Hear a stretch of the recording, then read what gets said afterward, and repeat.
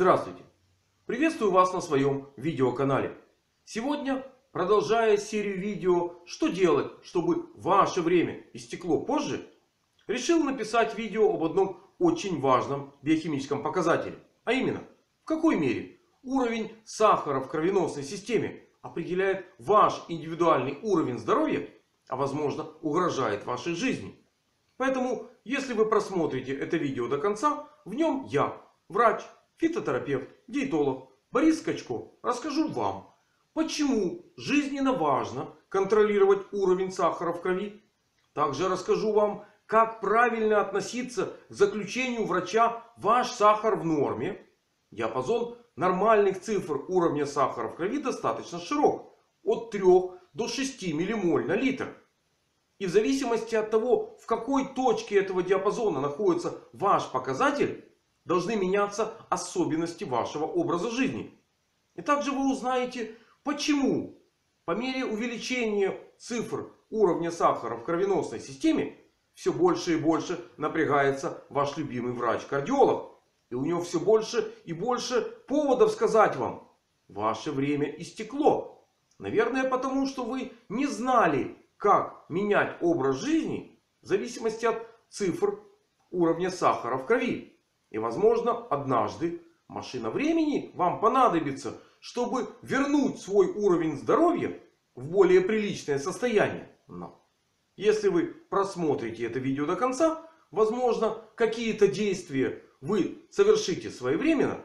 И машина времени вам не понадобится. Потому как ваш уровень здоровья будет достаточно высок.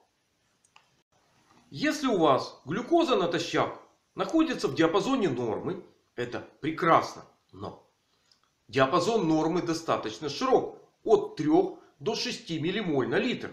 И в зависимости от того, в какой точке этого диапазона находится ваш результат, вам нужно вести специфический образ жизни.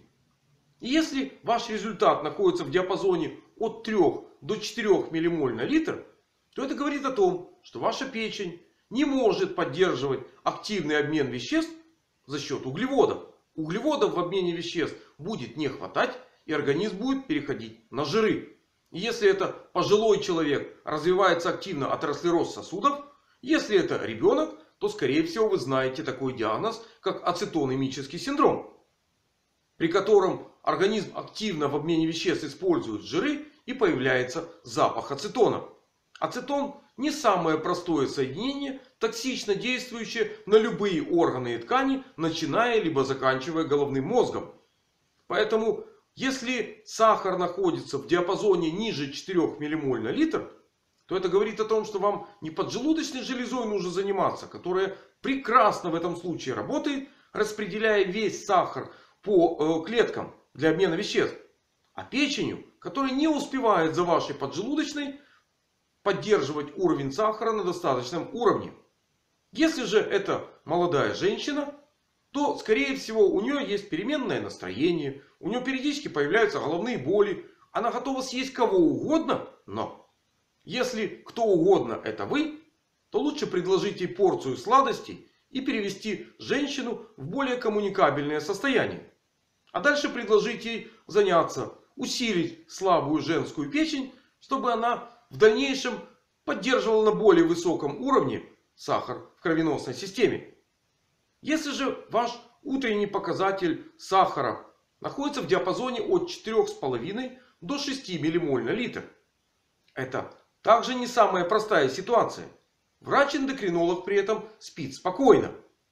Он начинает активно заниматься вашим здоровьем, когда уровень сахара преодолевает психологический барьер 6 миллимоль на литр.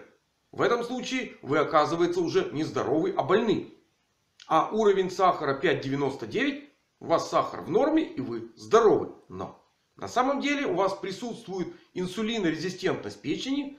Которая не может полноценно управлять обменом углеводов. И возможно у вас есть другие биохимические особенности, которые в этом случае неизменно появляются. Начинает изменяться обмен жиров, обмен белков, обмен витаминов, макро-микроэлементов. То есть обменные процессы в организме начинают нарушаться по принципу домино. В котором первое звено это углеводы. которыми ваша печень по, причине инсулинорезистентности управлять полноценно уже не может. Если же ваш уровень сахара, ваш результат находится в диапазоне от 4 до 4,5 миллимоль на литр, часть из вас может реально быть спокойными, а часть должна проверить свой результат. Я имею в виду людей э, небеспечных.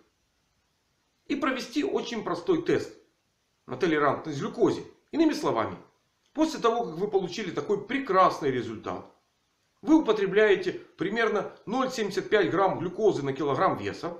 И каждые полчаса делаете еще три исследования.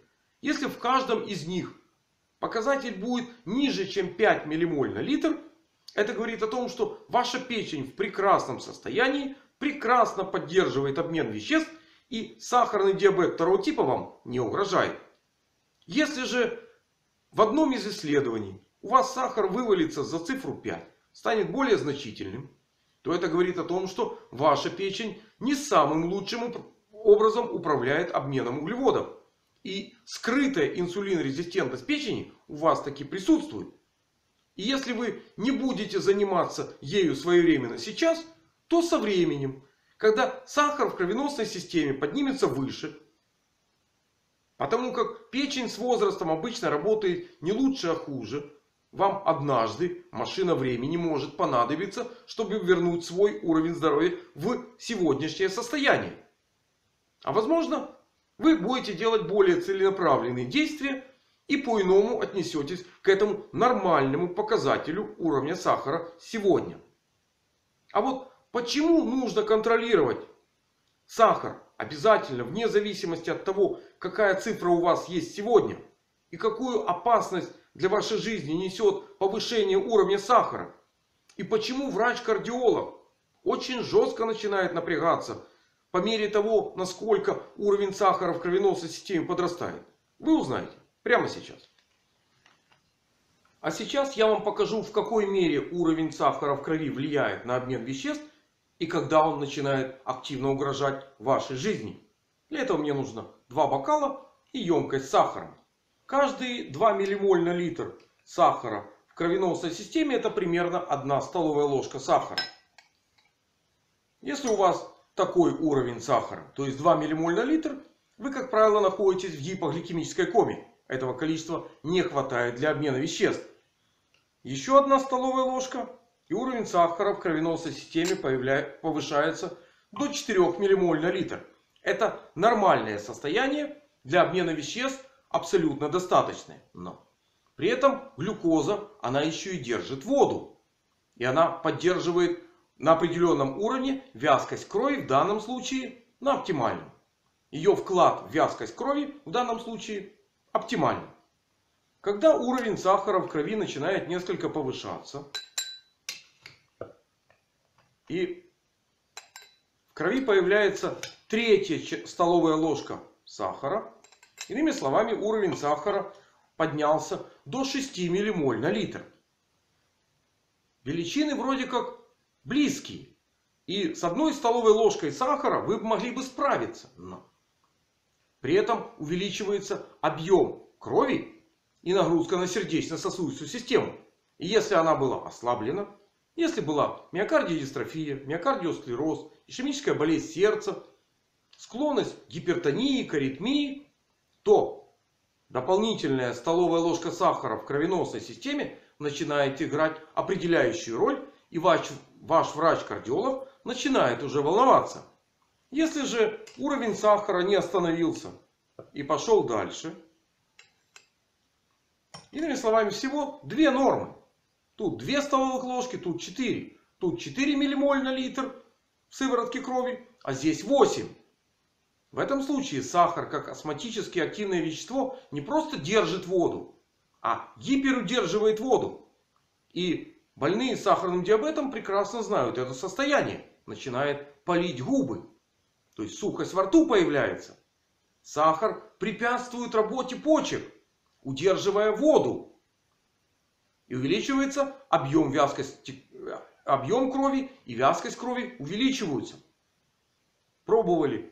Вода чем отличается от сахарного сиропа? В данном случае ваша кровь приближается по своим свойствам к сахарному сиропу. И появляются достаточно серьезные риски. Более того, повышенный уровень сахара в крови в данном случае он напрягает работу почек, мешает работе, работе почек как органа выделения. Количество мочи обычно здесь уменьшается. Уменьшается выделение слизи, жидкой слизи в органах дыхания. И если такой уровень сахара у вас сочетается с заболеваниями органов дыхания, начиная от бронхита, пневмонии и заканчивая опасными для жизни вирусными инфекциями, такими как грипп, вероятность осложнений резко увеличивается. И врач-кардиолог напрягается в еще большей мере. Конечно, когда в кровеносной системе появляется пятая столовая ложка сахара, пытаются почки ваши помочь в этой ситуации. Барьер по глюкозе для почек 10 миллимоль на литр. У ослабленных почек барьер может быть меньше. И в данном случае избыток глюкозы начинает удаляться через почки. Сахар появляется в моче. Только на этом уровне.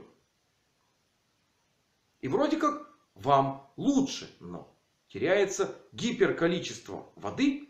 И более 100 лет назад сахарный диабет считалась более злокачественная болезнь, чем онкология.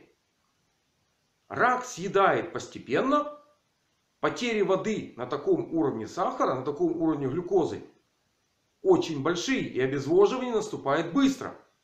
И кардиологический риск, связанный с объемом крови, меняет свое значение. Потому как в данном случае организм начинает активно подсыхать. В плазме крови теряется свободная вода. И Кровь становится при ее большом объеме достаточно густой. Кардиологический риск начинает менять свое значение, не исчезая, а видоизменяясь. И врач-кардиолог очень уж неспокойно начинает спать в этом случае. Если же вы не отрегулировали свою систему питания, свой образ жизни, возможно уровень сахара будет расти и выше. И чем более высокие цифры, тем больше риск для вашего, уже не для вашего здоровья, а для вашей жизни. Потому как в данном случае слишком с большой интенсивностью должно работать сердце и выдерживать сосуды. А в этой ситуации, да, уровень сахара в кровеносной системе в данном случае имеет значение здесь и сейчас. Но есть еще один очень интересный показатель. Гликозидированный гемоглобин. Вот этот лишний сахар начинает откладываться на эритроцитах. И способность эритроцитов проникать сквозь капилляры снижается. Иными словами, эритроциты начинают блокировать капилляры. И развивается диабетическая ангиопатия. В зависимости от того, где у вас выше уровень активности, там в большей степени страдают капилляры. Много вы читаете, будет диабетическая ретинопатия. Много думаете, диабетическая энцефалопатия. Много ходите. Диабетическая полинейропатия. Диабетическая ангиопатия сосудов нижних конечностей. Много пьете воды. Диабетическая э, э, нефропатия. В любом случае диабетическая кардиомиопатия. То есть мышца сердца обязана обеспечить большим количеством крови тот вид активности, который у вас присутствует. И страдать будут разные системы в зависимости от того, насколько высокий уровень сахара в крови у вас поднялся. И вы хотели бы найти машину времени однажды. Для того, чтобы вернуть этот уровень сахара на более низкие значения. И это нужно делать. Потому как чем более длительное время и более высокий уровень сахара в кровеносной системе у вас сохраняется. Тем больше риск для вашего здоровья здесь и сейчас. И для вашей жизни на перспективу. Поэтому, если вы считаете, что машина времени однажды сможет вернуть вам утраченное здоровье, это ваш выбор. Но уровень сахара в крови сегодня определяет кардиологический риск здесь и сейчас. И чем выше он от точки 4 ммоль на литр, тем выше уровень еще одного показателя. А это гликозидированный гемоглобин. Это риск уже не здесь и сейчас, а риск растянутый во времени. И повышенный уровень гликозидированного гемоглобина говорит о том, что последних 3 месяца ваша сердечно-сосудистая система работала с перенапряжением, а ваш врач-кардиолог плохо спал ночью.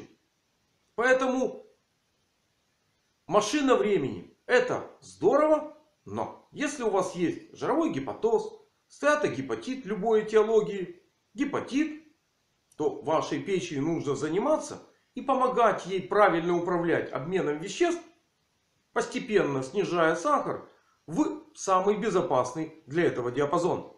Вот на этой позитивной ноте я это видео буду заканчивать с привычными подписчикам моих каналов словами. Крепкого вам здоровья и разумного к нему отношения.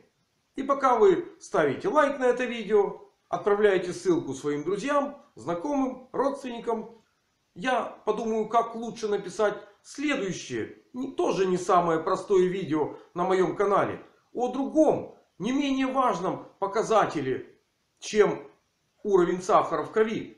Который также может вынудить вас заняться поисками машины времени. Но этот показатель еще более опасный, более коварный, чем уровень сахара Об этом крови. очень важном показателе вы узнаете в следующем видео серии «Что делать, чтобы ваше время истекло позже». А следующее видео на моем канале будет имбирный тест. Как его правильно применить, чтобы ваш уровень здоровья только улучшить, активное долголетие сделать реальностью, а слабые места вашего организма не испытывать. До новых встреч на моем канале.